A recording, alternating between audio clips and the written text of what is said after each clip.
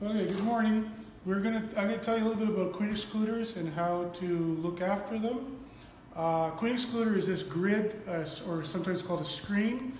The bars in this are very carefully spaced so that the worker bees have enough, uh, because they're slightly smaller, can pass through the spacing, but the uh, drones and the queens cannot. So this is like the old Abbott and Costello uh, movie where uh, I think it's uh, Abbott can get through the cell bars, but Costello cannot. So we're trying to, and the idea is that the queen will be kept below in the hive where she's safe and won't get mixed up with any of the stuff going on with the honey production. And it also keeps her brood, all the young bees, uh, out of the honey area so that uh, that doesn't contaminate either the honey or the flavor. Problem with these things is they're really delicate uh, and even a small, because that spacing is so fine, uh, it's easy to end up with a problem. And so you have to kind of check them by looking along the lines of the, and make sure everything is straight, both that way and then also this way. And aha, look, there's a, see that error in the spacing there? That would lead to possibly, especially that spot right there, a queen getting through.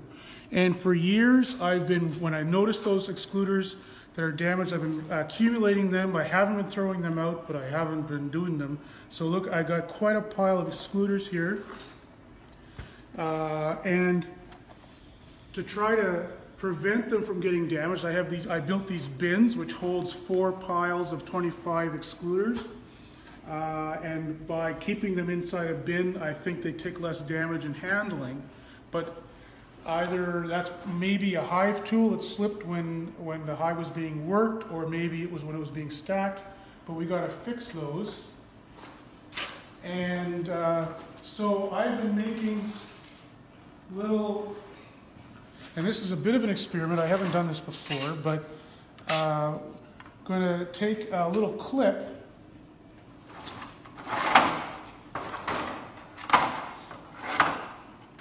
and insert it where that damaged spot is. And I've bent that on a vise, and then I'm just going to hammer it over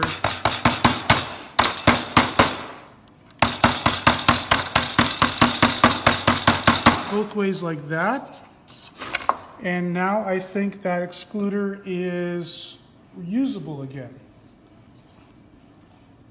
Some of my excluders are pretty old. These wooden ones here, uh, these metal ones, some there's two different kinds, or the ones with the wooden edging.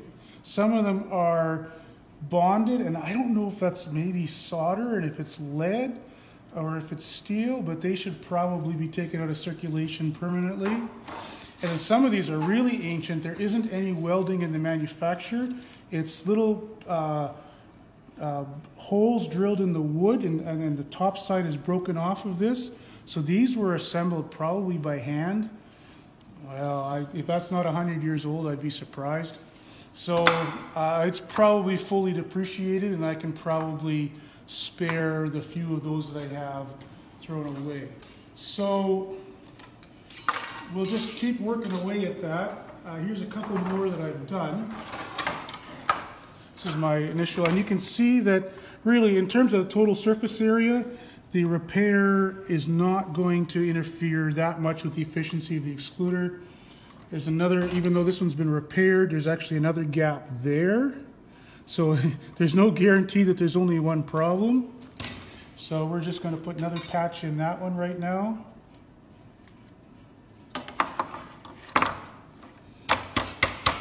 Pretty important that you don't get too crazy with the hammer here because you could actually cause even more problems. And you also don't want any edges of that metal sticking up in a way that would uh, hurt someone if they were handling the excluder.